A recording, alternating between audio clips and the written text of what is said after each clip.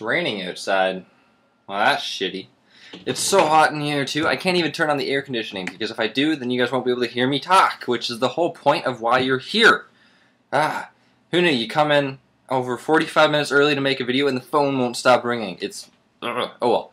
Anyways, guys, uh, the first story I wanted to talk about today, got to pull it back up here, was Amy Winehouse. Now, I'm sure everyone knows that she was pronounced dead uh, in her London apartment Saturday afternoon.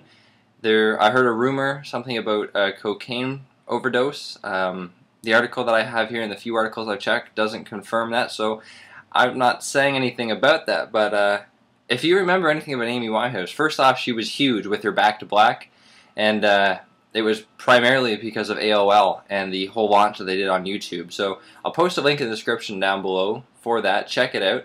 It was a huge thing. And then if you also remember her performance in Belgrade, I'm not sure if you guys ever saw that. It's actually pretty funny. She basically has a complete meltdown on stage. She forgets the lyrics.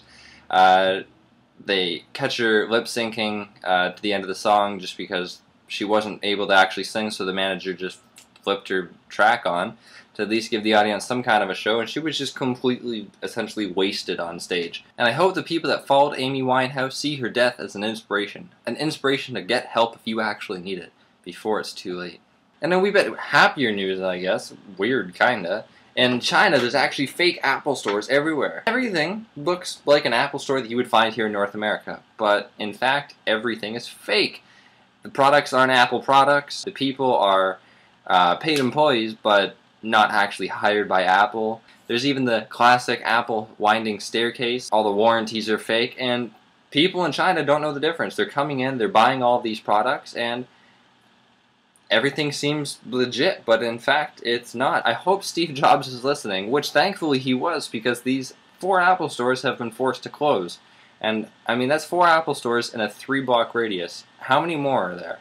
It's a sad day in the business news world. I just read an article stating that RIM, the creator of the BlackBerry, aka the phone I don't have, or an iPhone, I'm not too sure which one I want yet, but the phone I don't have nonetheless is laying off 2,000 workers out of their 19,000 person staff.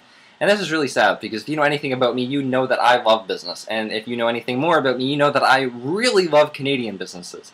And uh, it's a huge piss off that instead of creating jobs for the Canadian economy that we're actually losing jobs. That's 2,000 people that are now unemployed and collecting EI. I hope these people at least have the skills that they can actually go out and get another job, and maybe they're going to be going back to school. But regardless, we need to support our Canadian companies. I know that RIM is not in the best positioning right now. Uh, their CEOs definitely need to make some changes. The Titan has gotten even bigger. That's Google, of course.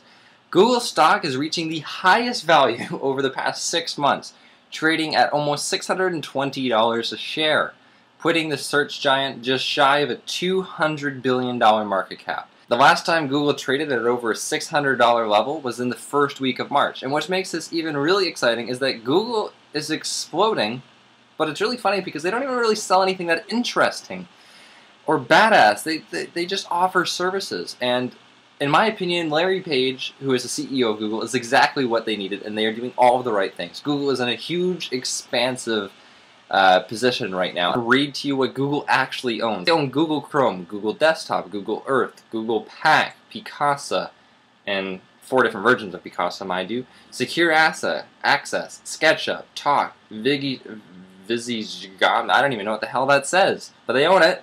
Pinyin input method, Japanese input, and like okay, all of those are massive companies. I, have heard of uh, most of them, and I'm only I'm not even a quarter of the way scrolled through the page, and it just literally keeps going and going. Everything from cell phones and Google Plus and Google Maps, uh, everything from AdSense to AdWords. It's huge, and when Google actually released that they were going to be putting Google Plus in, even before anything happened, Google's market cap shot up by 20 million dollars. Now that's huge. Uh, Twenty million dollars overnight just for saying a few words. That's not bad. I wish that would happen when I uh, spoke. I think I'd be rich because I just really don't shut up sometimes. And I just had to add this in. I'm trying to do something a little uh, good for the environment, something that makes me feel good about myself. So as I posted this in the last video, I actually had five or six people ask me if it was real. And hell yeah, it's real. For every person that subscribes, comments, and likes my video, I will plant a tree. That's everything that mattered to me over the course of the weekend. Uh, I hope everyone has a good week, and now it's time to sell some tickets for this company. Theater Collingwood, Tim speaking.